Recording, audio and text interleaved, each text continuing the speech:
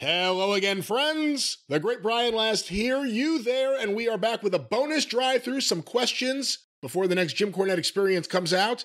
I said who I am. Here he is, the star of the drive through, Mr. Jim Cornette.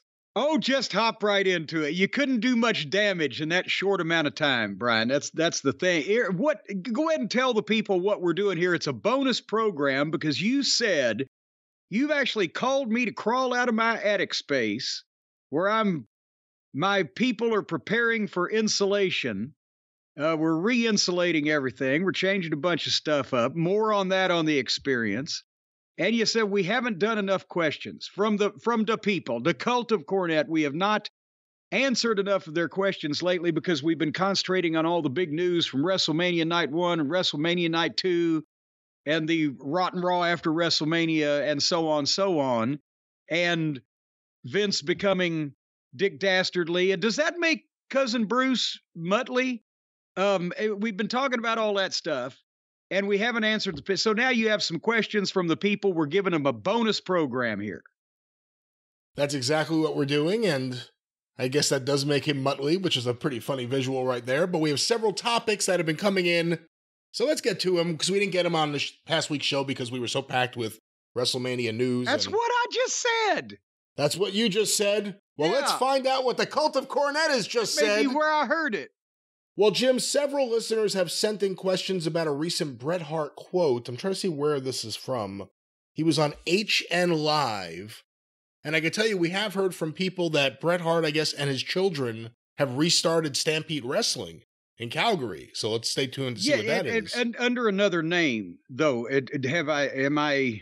Do I have a brain tumor? It was possibly something to do with the dungeon. It was. It's not Stampede Wrestling at, at that brand, is it?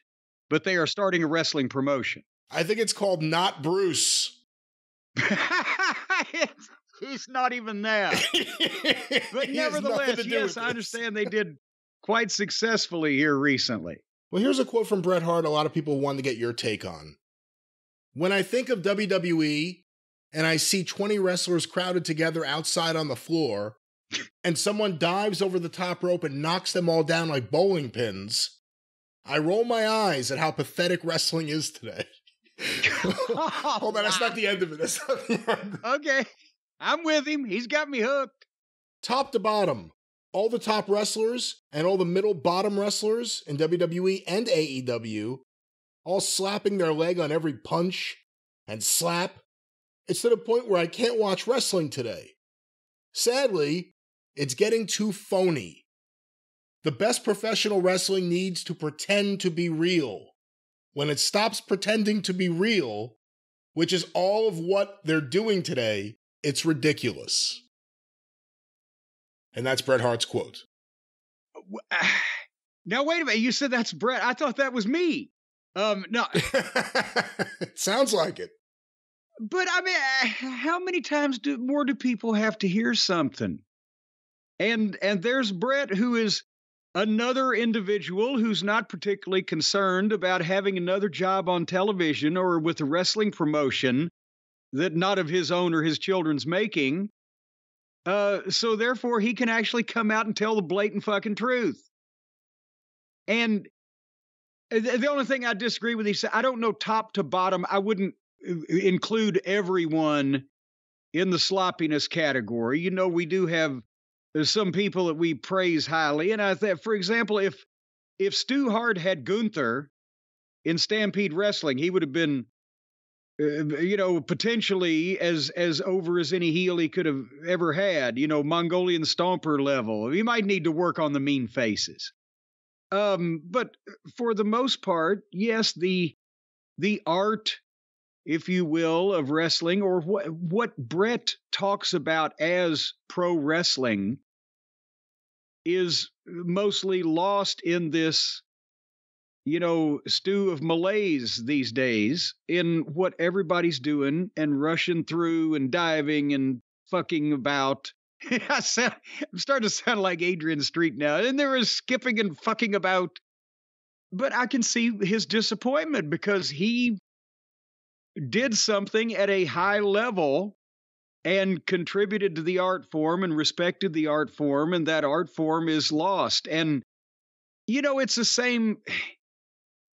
Eh, I, I know it's hard for some fans to understand, especially if they're of a certain age and came to view wrestling as a certain thing over the last 20 years or whatever. But it, it's not uh, necessarily a bitterness or uh, a phobia of foreigners. I don't like Japanese people or whatever, this and that and the other thing.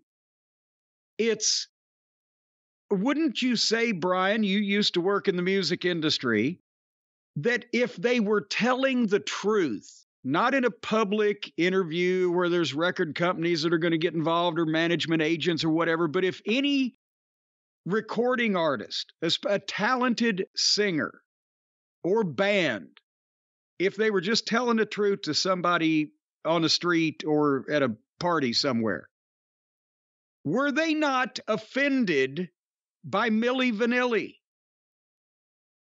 Right? Anybody who does something at a high level and sees someone else not only pissing all over it, but potentially being celebrated for that there is an element of what the fuck are you people looking at? And uh, I'm sorry, but I have to be honest about what we're seeing here. Do you think? No, I think it's different with wrestling because I don't think anyone got as offended by Milli Vanilli. People were bothered by it. Now, wait a minute. I'm not talking about the fans. I'm talking about the actual musicians. Yeah. First of all, you're talking singers. about you're talking about the musicians who give a shit about the Grammys. First of all, so that limits the pool of musicians you're talking about to what? hundred musicians? In terms of the categories Milli Vanilli would be in? I'm th- no, I'm so, thinking what, what Whitney talented... Houston is mad at Milli Vanilli. I don't. No, no, no. Wait, a wait a minute. No, wait a minute. Any talented singer, especially ones that have never won Grammys, but some that have because it devalues the award. What about some fucking more oddly? Do you think that the goddamn when Mr. T uh not only be- uh, came into the fucking wrestling business and was not looked upon kindly, but do you think that any accomplished actor, when Mr. T walked in, said, Oh, fuck, this fucking guy's a star and I'm a bit player? I would think there's a natural element, I certainly have it, of resentment of people who are pissing on something that you do at a at a high level. I think more offensive from the Grammys those years is when Jethro Tull got what was it, best hard rock album instead of Metallica? No, it no, it was it was it was best metal album. Best heavy metal, yeah, best yes. heavy metal album instead of Metallica. Jethro Tull at like eighty nine. I would have given it to him for Aqualung, but I, you know, in eighty nine, I'm not sure. But anyway, I, I agree with with Bret because of everything Bret said, and it's it doesn't it doesn't have to be that way, but it is. You know what Oscar Gamble says? A lot of people don't think it'd be like it is, but it do. The fact that someone like Bret will come out and say this, and you come out and say this, and you both have something in common, you're not looking for work. And there's a lot of other people who know better, but who need work. And they may go to a place like an AEW, and it's really more there than WWE just because of the structure backstage. You know, the agents at WWE yeah. can only do so much. And in AEW, they have no idea what the fuck they could do in AEW, we've heard one guy after another, whether they are someone who has sound strategy or not, but veterans like Tully Blanchard, Jake Roberts, different people say, none of these guys want to listen to me. None of them were Bret Hart in a ring.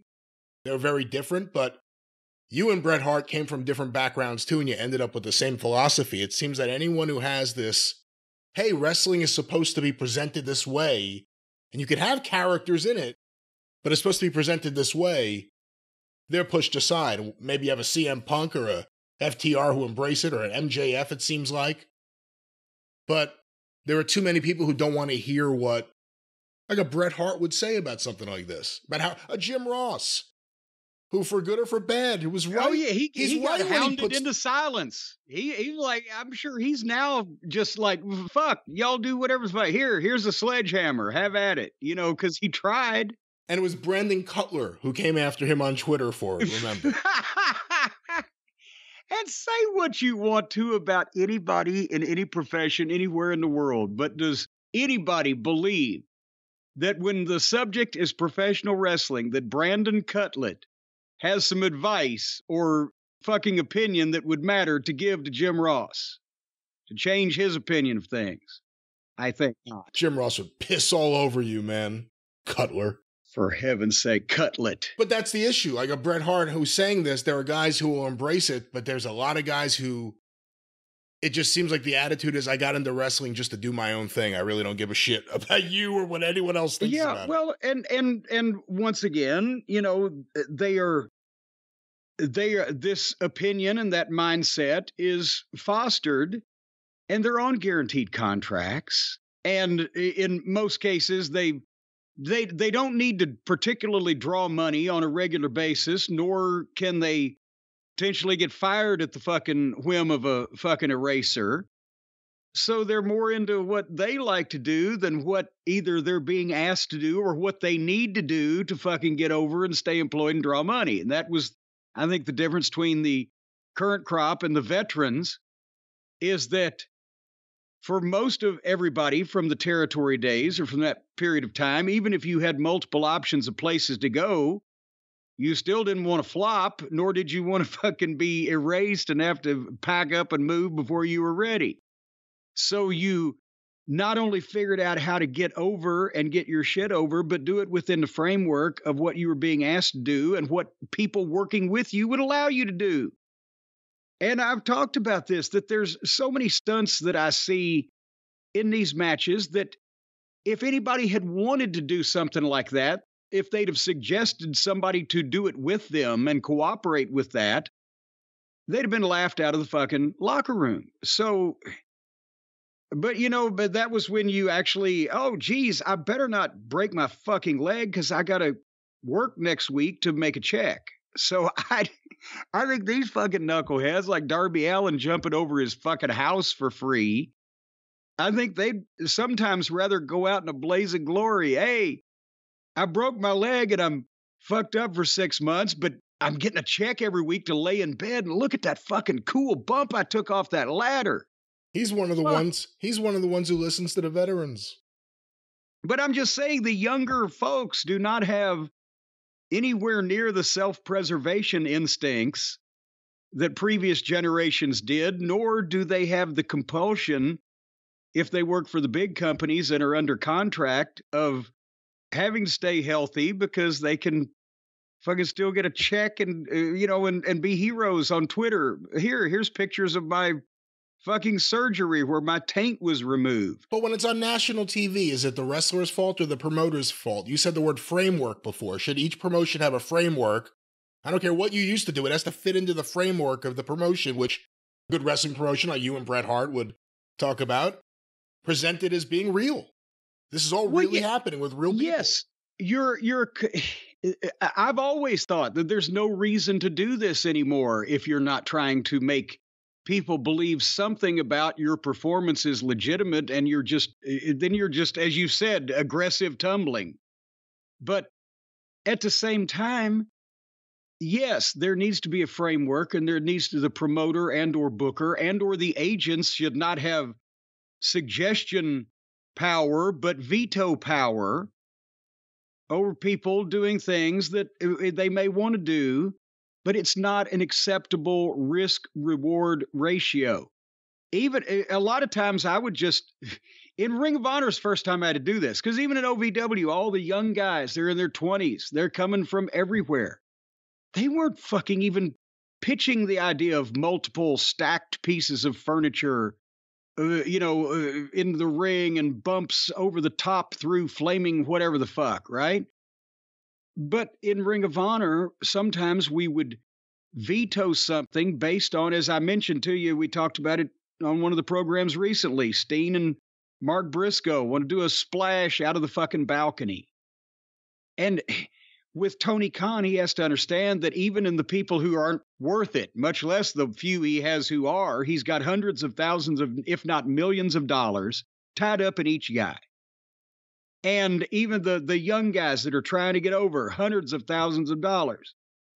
And so to get a return on his investment, they have to be ambulatory cognizant and able to fucking perform in some way on television. And so just because they have the idea that, oh, I, it'll be such a cool pop if I take a Canadian destroyer off of a ladder, bridged between another ladder and the top rope, over the top rope, and through two tables to the concrete floor. What a fucking pop! Yeah, the pop you heard was the bone breaking. You know what the ironic thing is? It's an amazing move to do if you were doing an angle for a guy to be out for six months to a year. Because that'd that's be exactly how long what it take him to come back. Yeah. and and that's why I've said did, did again, did he plan to come to work next week? And why would you be able to? Remember I've told a story about me and Bubba Ray got fucking hot and yelled at each other because without my knowledge, he had come from the main roster and they came to OVW. And I guess they were doing things a little dr- more drastic than we were down here at the time. But to send the people home happy, which is what my words were, he power bombed one of Jillian Hall, who was at the time one of my female valets as well as a wrestler, off the top rope through a fucking table. So I had to fucking take her out of goddamn everything and leave her off TV for two weeks because how the fuck do I explain that Bubba Ray Dudley powerbombed this 130 pound woman off the top rope through a fucking table and she's back the next week, even if we had her on crutches and in a neck brace? So it, it- again, at some point, the, the agent, if Tony's the booker and also the promoter and also the bottle washer and the fucking ball washer and whatever else he's fucking doing, Music. he's got to be the one to say no. I don't care if people will pop. It's that's ridiculous. You're going too far. Neither one of you are neither in a position of so important I can't replace you or just meaningless that I want to replace you. So let's keep it right in the middle and do have a nice match and don't kill yourself. That's too much. You know that uh, I don't have to be sold that this is not the main event of a pay per view that's going to gross $50 million and the finish of the match depends on that fucking spot. So who gives a shit? Do not do that. Nobody will remember it in a couple weeks except you because you're going to break your fucking neck. And then move on to something else. And so if they did it without, I'll say this and we'll, we're done. If they did it without telling somebody they were going to do it and without asking permission to do it, I would fire both of them. I would fire Dante uh, with his broken leg because that's almost like a fucking suicide attempt on the air. And if my agent cleared it or my producer or whatever they call those people, uh, then I would fire that particular fucking agent or producer, whoever it may be. Because I can't imagine anybody sane that heard that would be allow them if they had veto power. If they just said, "I wish you guys wouldn't do that," and they did it anyway, then I'd go back to firing the talent.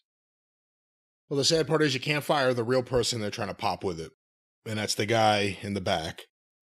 But Jim, let's get Oh, I, another. th- I thought you meant Uncle Dave. well, we'll get to Uncle Dave in a little bit here, but I want to play you this uh, audio because several people have sent it in. It's a clip that apparently has been going around on TikTok. So that is uh, certainly a clip form, probably out of context in Is one it- fashion or another. Some type of propaganda benefiting the Chinese. Well, we will find out about that momentarily. I'm going to play you some audio. It's around a minute or so. Sami Zayn talking about WWE creative, I presume, based on what I'm reading here. Triple H was on creative. I never got on screen with Roman. Hmm. And then when Triple H did get, I finally did get on screen with Roman. Whether that's a coincidence, because like I said, the first time I finally did get on screen with Roman that took the story to the next level happened to be a lot of stars lining up. You know, the Usos weren't there, Heyman wasn't there, it was in Montreal, all these things. Would that have happened if Hunter wasn't in charge? I, I don't know. All I know is I can definitely point to the time he wasn't in charge and say I was kept away from being on screen with Roman. And then once he was in charge, all of a sudden I am on screen and it's allowed to breathe and see where it goes. Because if I do get on screen with Roman and we start doing stuff with the Usos and all that and it's not really working, then, then okay, then you go somewhere else. But because it got, it started to work, it got room to breathe. And as it breathed, it, it grew, you know? So whether that, uh, would have happened without him, I don't know, but probably not. And there's the clip, and I believe that's Ariel Helwani based on the uh, the little grunting hmm or whatever that was. I'm not sure. It doesn't identify the source here. Based on the grunting, it appears to be our friend Ariel. Um, again, there, poor Sami. When was this? If this was recent, he may be being a little too honest for his own good. Um, I think you know. Remember last year at WrestleMania, he was in a fucking mousetrap. And this year, he's goddamn winning the tag team title, and he's had the best run of his career. So, yeah, if I was him, I would like. It was like when we went from Ken Mantell's booking in World Class to Dusty's booking in Crockett. Much, much better fucking upside. What do you think you would be feeling right now if you were one of these guys that were either there and believed in Triple H and saw results I mean, morale's been up and everything else over the last several months. Or if you were someone who came back to the company, how how soon after Vince came back did Tony hmm. Khan's phone go off and it was like, "Hello, it's William Regal. Listen, do you have a place for my son?" yeah, I'm, or either that, or you know, my son's not really working out. I was wondering. yeah, so what do you think you would feel if you were one of these guys that are in that company and feeling good about Triple H, and all of a sudden the panic or the changes are setting in. Oh, God damn it. You know, but here's the thing. Look at this now. Let's say you're a young wrestler. You have some confidence in your ability and you know your uh, your talent and upward momentum if you get an opportunity. Now, do you want to remember we were talking about well, do you want to place your career in at one point in the hands of a 80 year old billionaire maniac, or you want to go over and work with all your friends and all friends wrestling. Well, now the thing is, I think they got most of their friends' jobs by now. So now do you want to go work for Tony Khan, who appears to be, he definitely has too much adrenaline or too much something or other going on and is all over the place and has dropped the ball time after time on creating new stars. And the EVPs have their circle of friends that have pretty much all been employed since then. They just brought another one back, one of the Smash brothers. Uh, so do you know? Do you go in and try to infiltrate their circle of friends so you'll get used, whether you're worth a shit or not, or if you're good, do you trust your career with Tony Khan, who's who can't even fucking get Hobbs over in three years. He's in witness protection. Or do you go now to what, if you have any chance to work for the WWE at this point, which is now literally part of a 20 something billion dollar, billion dollar conglomerate with every goddamn Hollywood agent and movie studio at their beck and call. And even starting money is, you know, pretty, pretty fucking good. And the biggest little bit of hopium that you can smoke is that, okay, I'm 28 years old, or I'm 26 year, I'm 30 years old, or whatever. Vince is fucking 78 if you can get a foothold in that company, now you're just rolling the dice that Mother Nature or Father Time or Old Man River or whoever comes to collect 80 year old billionaires will do it while you've still got the fucking chance to prosper. There you go. Jim, a question from the Cult of Cornette Facebook group. This one was sent by Josh Wilson, would Jim have quit working for the WWE and left his position at OVW to work with the Jarretts during the early days of TNA if Shit Stain wasn't involved in TNA? uh, no, I'm. I, the short answer is no. Uh, absolutely not. OVW was always my first priority because I was part owner of the company and is in my hometown, and that's the whole idea of what we were doing. So I didn't have to go anywhere anymore. There's been a recurring theme for the last 20 years me not fucking going anywhere. Uh, but I can see because Dutch Mantell was involved and both Jerry and Jeff were involved.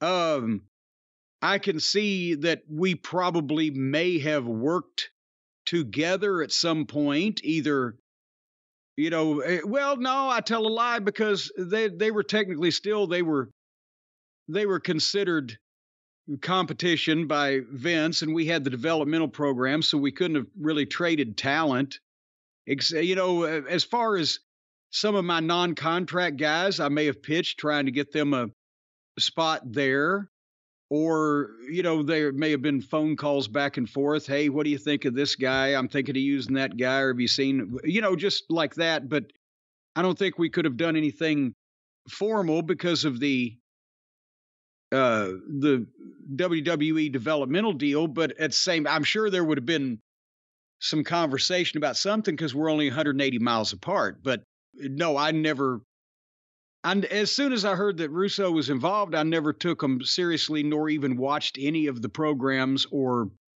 I, you know, I might read the shit, you know, the recaps of what they did, but I never actually saw any TNA until about three weeks before I went to work for him. When, you know, Dutch had been calling me. I left WWE in July of 05, and Dutch called me that week and I said, I don't want to do anything right now. I'm I've just gotten away from these fucking people driving me crazy. Um, and we stayed in touch back and forth, and finally, the next summer they had something going on, and I'm trying to remember what it was. The Dutch said, "Well, we really need you to come in, and I need to make a ruling about the title." They needed an authority figure or a new one, and I needed to make a ruling about the title and play off of their summer pay per view. I said, "All right." Was, and, that, was that the clip that was just going around on social media where you're in the ring and like you fought, you break up Team Canada, you give the belt yes. back to Jeff. Oh, that was awesome. Yes, that was yeah. great. Bro- broke up Team Canada. I made several rulings. The crowd went it, crazy for each ruling. Well, they were except for Jeff. Good rulings. Except for Jeff getting the belt back. Well, but then, but then I kind of spit in his eye too. but you know, I've I've been ruling rulings all morning. If you've read the rulings I've been ruling, you'll know they're really well written rulings. But it, so anyway, that's that's how that uh, came about. Is that I really I'd, I'd never seen the program because he it uh, just it, instantly I heard he was involved and I tuned it out of my mind. Jim, you mentioned Uncle Dave before. The star ratings for WrestleMania weekend have come out. Have you seen any of these? I have not. Again, we're going through popular topics. I'm, I'm, actually, I'm I'm seeing some stars now, but I think that's because of the head blow that I sustained when I was in my attic earlier trying to prep for the insulation. I'd be careful with that. But Jim, a lot of people like we're going through. Uh, you th- threw me off with the. so I'm seeing all these stars. You know, they're sparkling around me, but it looks like Dave's living room. Well, Jim, a lot of uh, listeners have sent in questions in the last few hours about the WrestleMania star ratings from Dave because I guess they want to hear what you have to say about him, but a lot of people okay. sent this in.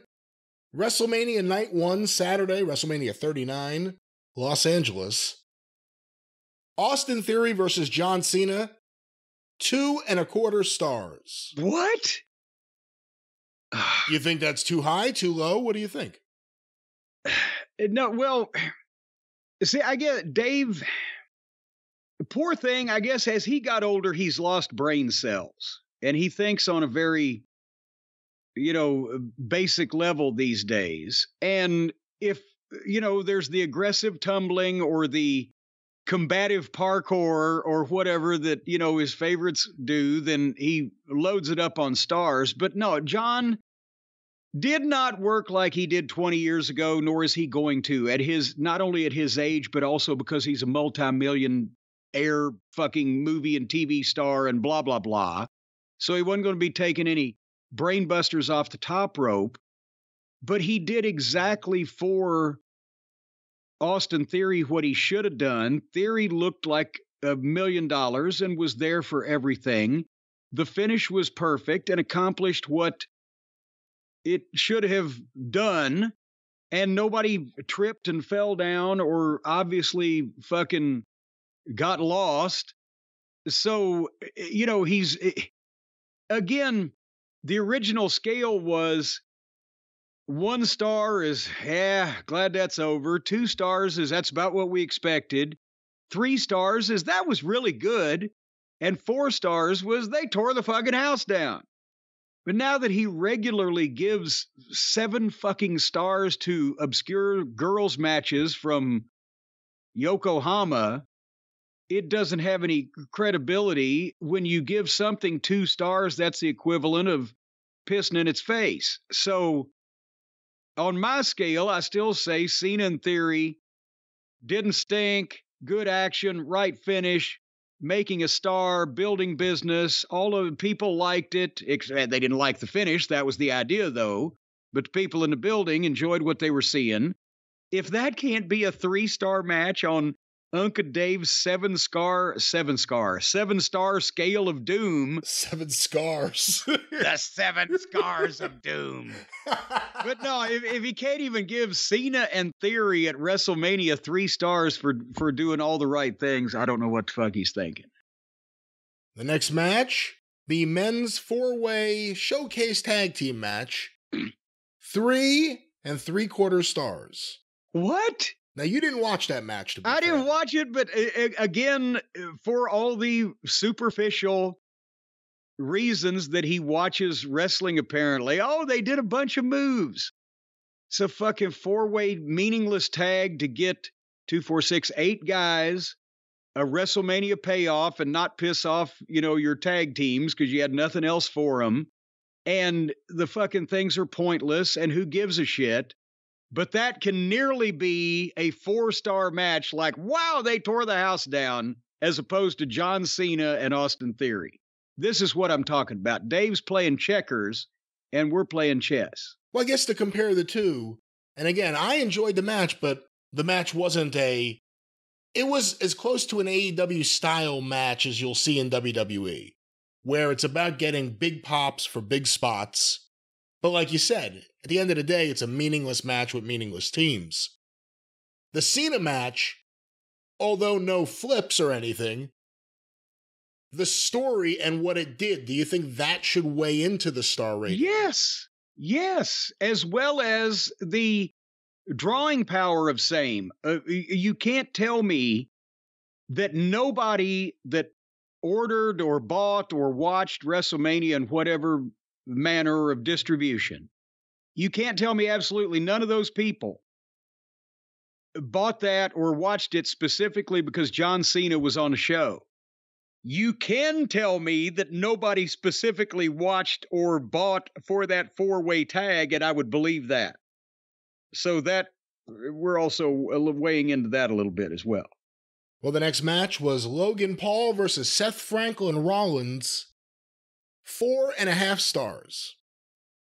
Okay in all I, eh, and again except for the most you know infrequent and just wildly uh, levels above you know something that comes along i i don't know why we're going over four stars anyway because five was meant to be the goddamn you know actual murder in front of our eyes couldn't have torn this fucking place apart any more than this uh, but I think that was a four star match because of the athleticism involved, as well as the heat and the story and the whole nine yards. Uh, we didn't particularly enjoy all the promos leading up to it because of Seth being whatever the fuck Seth is. yeah. But uh, I can see that being a four star match in your eyes, you said five stars is I forget the way you put it, just total destruction, kicking ass. Well, yeah, just uh, levels above whatever the fuck, because there there is no five star movie, right? They don't do this, so the, therefore, you know, it was it was like just meant to go. Holy shit! That you aren't going to see anything like that more than once every year or so. Is five but stars? Now he's. is it perfection? Do you see it as perfection? A five star? No, match? nothing's nothing's perfect even in Nothing's the moment, perfect. even in its time, nothing's perfect. even even in the moment, it, it, and especially if you're watching on video, but even in the moment live, in a pro wrestling match, there is always going to be something that you see that either didn't land right or was oversold or missed or didn't look right or make sense or whatever that will show you that it's a work, but if they're very minimal or few, then the overall body of the thing, you know, you can get caught up in, but it can't and the only the only perfect pro wrestling match would be one that tore the house down with the audience that was watching it, but at the same time you couldn't see any fucking cooperation or tell anything was a work. That would be the perfect pro wrestling match. And hopefully it makes a few bucks. Also, while we're at well, it. yeah, that that's why. I'm, well, I'm, I'm assuming that the house that we're tearing down is is full, but that yeah, you know, you've seen those. And in the old days, there was the ones that got close, but you've seen those where the people are hopping up and down, and it's a big match, and you've lost yourself, and they get almost all the way through, but there's always something. But that would be the Yeah. perfect thing. Solo Fucking Sikoa. people- That's there's always something. well, whatever. But people throwing the babies in the air, you couldn't see through the fucking thing in the whole match, and you know, goddamn, that that would be perfection. It's probably never happened. well, Jim, the next match, another one I don't believe you watched. Damage Control versus Lita, Becky Lynch, and Trish Stratus. Two and three quarter stars. I can't comment because I didn't watch it, and it it doesn't sound like it's ridiculous either way. I would I would remember between two and three is between about what we expected it to be, and boy, that was really good. So there you go. Rey Mysterio versus Dominic Mysterio. Four stars. I, I can probably see that also for the execution. Remember, we said Dominic looked. Uh, that was the one that he looked, you know, better than just about anything else because that he's ever done. Because obviously it's his father also, and they've got a, you know, a vested effort in working together as well as they possibly can. But I, I don't know that. um I don't know that that's offbeat. Uh, uh, maybe between three and four, just because. Well, even this was one of the main draws of the show, so I got. I don't have a problem with that. Fuck it. Charlotte Flair versus Rhea Ripley. Okay, no, wait, wait a minute. Before you say that, this is where if Uncle Dave is going to be honest with people, he needs to start hauling out the six and seven. If he can give Twinkle Toes McFinger McFingerbang seven stars in the Tokyo Dome, he can give the potentially best women's match that's ever been held in the WWE at least five or six, can't he? Four and three quarter stars. okay, he can't. Um, and see, this is where you know, then no women's match can ever get five stars in his inflated scale because if he's given six out to this Yahoo and you know seven out to Harpo, they can't even get five. That seems a little stingy of him there's never i don't know there's ever going to be another uh, a better girls match in the wwe until they have their rematch I thought it was the best match I've ever seen in North America, as I keep saying it, just because there are some phenomenal matches I used to love from Japan, but I haven't seen anything of this caliber from women in America. and and this was a whole different style obviously than the 90s yes. you know japanese women but at the same time it wasn't that different than the 80s 90s american male style at a you know on, on except for the moonsault off the top rope. But you know what i'm saying? the working they did that is just above most of the girls heads. So anyway we say apparently uncle dave is misogynist or is it misogynistic? Or misogynation I wouldn't or, say. or potentially m- menage a trois.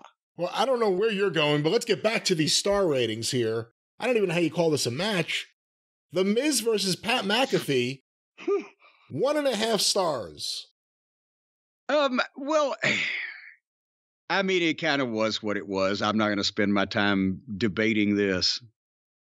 The main event of night one, the Usos versus Kevin Owens and Sami Zayn, five stars.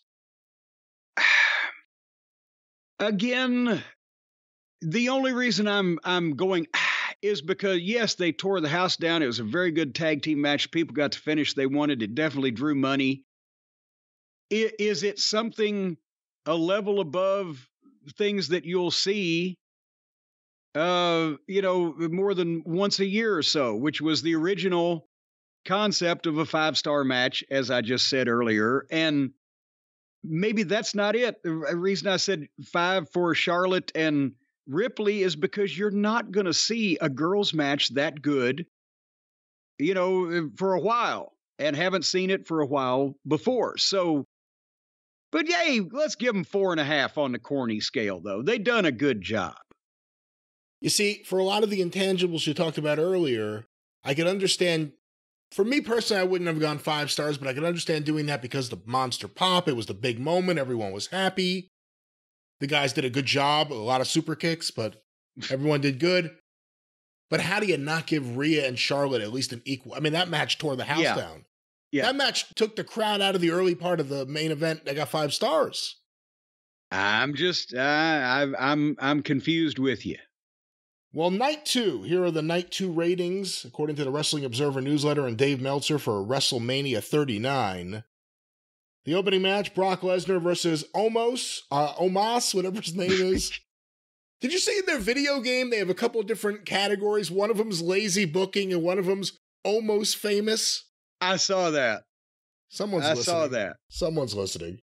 Lesnar versus almost three stars. okay, see, they had the tear down the house part because people like to see Brock throwing the the big guy around, but it did, didn't all tear the house down until that point. Um, that's the kind of Weasel Dooley. That's the kind of match in the old days, the big giant monster man match. It you can't tell me that it was a major draw in WrestleMania except for Brock's involvement, just his name being advertised. It could have been Brock versus, you know, Cooter Benchley. Um, eh, I can't see that being more than a two star match because we're more relieved that it's over and it didn't suck. What do you think? I liked it. I like that kind of big man match where it's short and they just kick the crap out of each other, and before you get sick of it, it's over. and no one really got hurt. Like anyone could have won that match. I'm okay with it there, and I agree with you. It didn't draw anyone, so it was just an added attraction. It was a big attraction match. The giant versus the whatever, the saber tooth. I don't know what The Beast. the Beast. Did you see? Someone tweeted out something. I forget who it was, and I wish I could give you credit. I'm sorry. It had a Brock Lesnar thing, you know, the Beast incarnate. And then it had a picture of Brandy on the mic, and it said, You may be the Beast incarnate, but I'm the bitch incarnate. Well, actually, I had somebody tweet me the fucking uh, split screen, right? The Beast incarnate, and on the other side was a freeze frame of me and Sever, and it said the Beast and Cornette. I didn't see that one. All right, well, that was Lesnar versus almost the women's four way showcase tag team match. oh, seriously? I don't believe you watched this one either. No. Two and a half stars. All right, but I'll I'll accept that. So far, the Cena match. The Cena match, it, one of the three probably big draws, is the lowest rated encounter. Well, no, McAfee versus The Miz has it. Oh wow, yeah, yeah. What, what? Neither guy was even dressed, so Gunther versus Drew McIntyre versus Sheamus. Five star match. okay, I will. g- The the only for today's environment, I'll go with it. The fact that it was a three way that was so confusing, and they did all the modern shit they do, I that to me didn't tear the house down as a stellar example of pro wrestling, maybe modern wrestling, but the stiffness and the the overall slobber knocker atmosphere, I'll let him have that. Asuka versus Bianca Belair. Three and three quarter stars. Okay, I'm not even going to argue this fucking point. At least it goddamn wasn't as big as Charlotte and Rhea's. But I'm not going to get in the weeds on dissecting Bianca and Oscar. The Miz versus Snoop Dogg. Okay, now I may get down in some weed to talk about Snoop Dogg. Um, Would you like to join me down in the weeds as we talk about Snoop Dogg? Absolutely. One star match. Oh, come on. Uh, and by the way, they've announced Shane has undergone surgery. Yes, Shane. they sent him to Dr. James Andrews. Shane's in Birmingham. That used to be I think guys would say to the locker room to each other, I'll send you down to Birmingham. Everybody knew what that meant. I mean, there's so many different ways. As no, as a wrestling match, it didn't deserve. I think uh, Uncle Dave about 30 years ago gave one of Giant Gonzalez's matches like negative four stars or whatever. As a wrestling match, this was what was created by Weasel Dooley to be a dud, D U D. And Dave doesn't use those anymore. I think he used to, but he doesn't anymore, does he? It hurts people's feelings. That's right. That I think that's uh, a, a, reason it was given, wasn't it? At one time, when he stopped doing dud. I forgot about dud until you just brought it up. I forgot yeah. that existed. Yeah, yeah, because it was one through four stars and a complete stinker, a four finger stinker. That means you need to stick all four fingers down your throat to make yourself fucking puke hard enough to get all the taste out. A four finger stinker was a dud. We talked about the Snoop Dogg Shane McMahon incident and commended Snoop Dogg for jumping into action now. Oh, thinking ahead, yes, but as a pro wrestling match, the whole and really you ought to rate two matches. You ought to rate Shane McMahon versus Miz, which which when you think about it, Shane Shane's drop down was beautiful and his leapfrog was gorgeous till the landing. You know what? We had so much fun talking about that the other day. There's two big things we left out. One Somebody laughing. When Shane was in midair, Michael Cole starts with, he still got it. And he lands. he fucking tears his He still got it. And there it went. That was amazing. And, and again, he's had it. And Snoop Dogg saved the day. We didn't talk about his running of the ropes where he didn't lift either arm. He, yeah, he would just, just turn around and like lean back. Well, remember, I kind of glossed over it when I said it looked like shit till it got there and then it hurt. But everything to the lead up to the people's elbow, yes. But see, again, there's a I, some fans pick up on it just because they've seen it visually. But you would be surprised. Some people that watch wrestling, like Snoop Dogg, obviously has for quite a percentage of his life and they still run at those ropes and it's almost like they're running into a goddamn electrified fence or something. They're just oh shit they just clinch up. And that's what he did. And then again and then stopping and when he brought that elbow down though uh, you can you can tell a shoot elbow drop when the point of the fucking elbow to the sternum is the very first thing that makes contact. Right then you know you've been dropped an elbow on. Hey in terms of the way he ran the ropes, I'm laughing about it because it looked so ridiculous. I'm used to seeing yeah. wrestlers run the ropes. If you have a celebrity, if you're the booker and you have a celebrity on your show, you're going to use them for whatever reason in the ring and they're going to run the ropes. Do you want them to run like that? Like they have no idea how to do it? As opposed to like, train me so I could do it really well like you guys. And then all of a well, sudden they're running the ropes the way that, how would the layman get in there and run the ropes like that? You want something in between. Remember, the porridge needs to be neither too cold nor too hot. It looks, it, it not only calls attention to uh, an aspect of phoniness when somebody runs the ropes like Snoop Dogg did because it was obviously phony and he didn't know what he was doing. But also, if he'd have accidentally had any more momentum he could have hurt himself if you hit the ropes and you don't have an arm over the top then eh, eh, you've seen guys you know go straight through backwards snap the fucking neck you know whatever the you get whiplash. Eh, I wouldn't depending on the celebrity if it was a celebrity from another professional sport well then you got something to work with. If it's goddamn you know musician you might try to not have them in a perfect world hit the ropes to begin with, but almost anybody can run and lean into the ropes to get some momentum for something and look like they're going to do something if you just explain to them how. So if Snoop had to, like three miles an hour going on, if somebody really takes off from about eight feet away and hits those ropes to get some momentum to do something, then that's not something that needs a lot of training except how not to fucking fall out of the ring or break your neck when you're doing it. So if I had a celebrity that was being set up to do something like that, I would teach them the basics of here's how not to fucking hurt yourself. And, the, you know, but then whatever it is, it is. My rating for that match, five stars. I knew it. Five star match. I had a great time. I popped like crazy. Couple more matches. Hell in a Cell, Finn Balor versus Edge. Three and three quarter stars. Oh God, we talked about the issues with that, and you know I can't deny them the the the the enjoyment of nearly getting four stars from Uncle Dave for all the physical abuse they went through, even if there was a lot of problems with presentation and execution of that match. And finally, the main event Roman Reigns versus Cody Rhodes, four and a half stars. See, that. That was a five star match with a one star finish.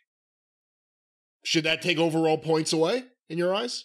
Uh, yeah, well, and see, that's the thing when you, if you, if you have 98% of the best sex you ever had, followed by either a goddamn tree falling through the roof right before you come or fucking a home invasion at gunpoint at the end of it.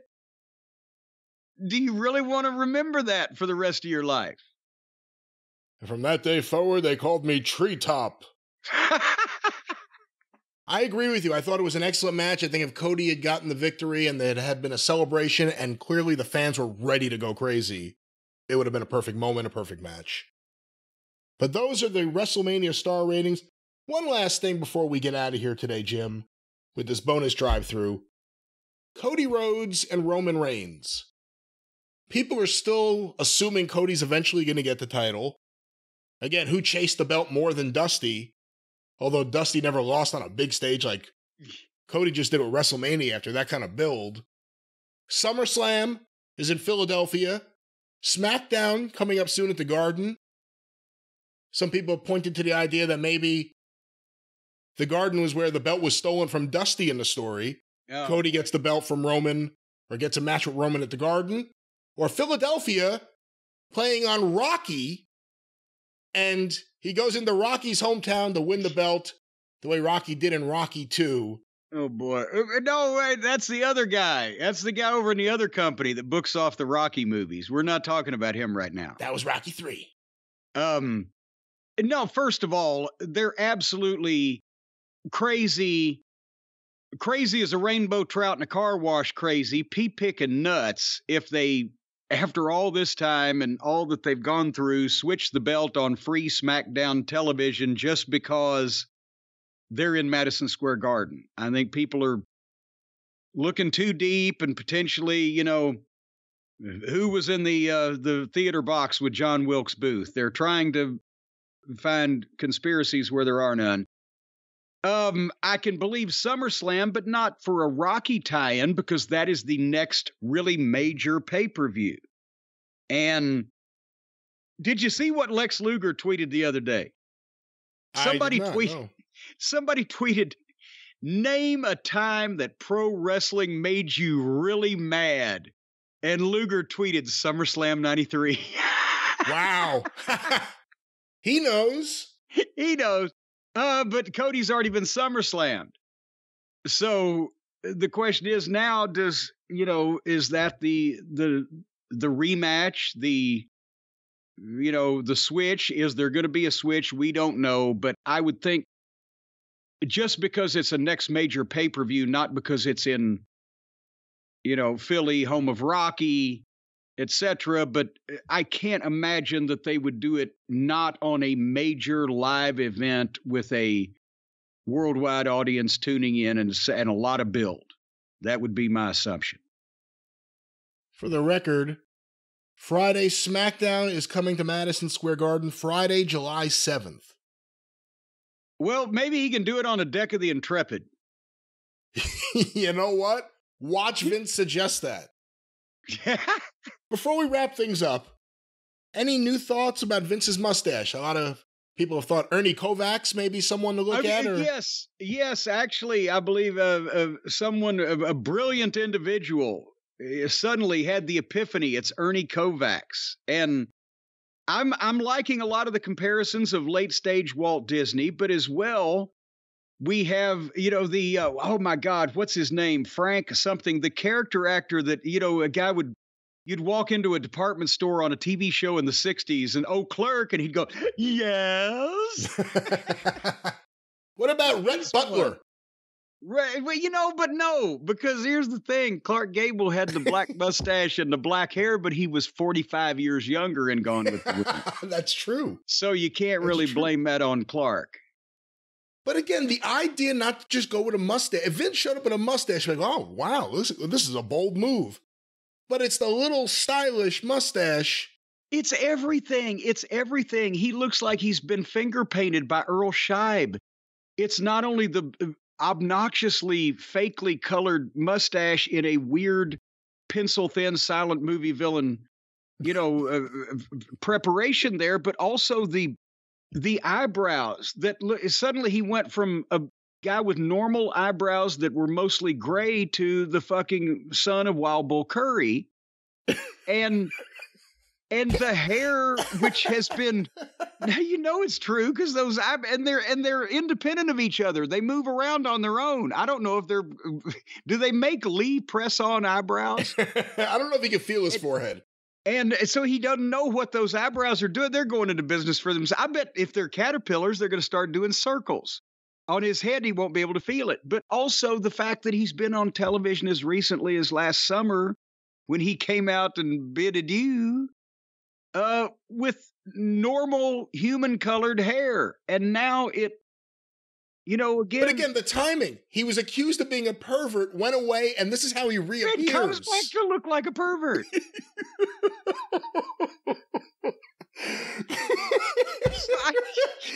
and no one said anything. No one, come on, no one said either Vince or hey dad, what the fuck? No I, one has said anything. We heard about this mustache like a month ago. That means he has kept it at that length for at least six weeks to eight weeks. The only ones that that I can think that could say anything that would say anything, because you know Bruce ain't gonna say anything. He's gonna he's maybe rib him a yeah. little bit, but at the same time putting him over about how snazzy he looks. Bruce will grow a mustache, and that's what he'll do. um, Watch. but uh, you know, Kevin Dunn's gonna love it. Oh, Vince, you look thirty years younger. I'm sorry, Vince. You See, he should have a mustache. It would hide the teeth. And oh fuck no! Then it would just look like a picket fence growing out of somebody's fucking twat hair.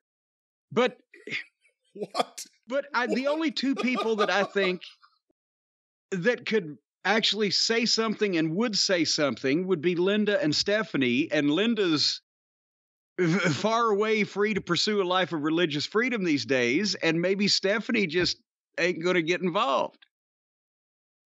Well, this has been the bonus drive through. Of course, more action like this on the Jim Cornette Experience and Jim you've Cornette's never, Drive You've never, you've never thought of envisioned of something looking like a picket fence coming out of twat hair. I've never had that vision, and I'd never put those words all together in that kind of fashion. So when you that's because I'm a that's because I'm a visionary, a cunning linguist, as it were. But as I was saying, this has been the bonus drive through. We hope you've enjoyed it. Of course, subscribe to the YouTube channel and You'll hear us on the drive through any experience wherever you find your favorite podcast. For Jim Cornette, I'm the great Brian Last. Tally ho!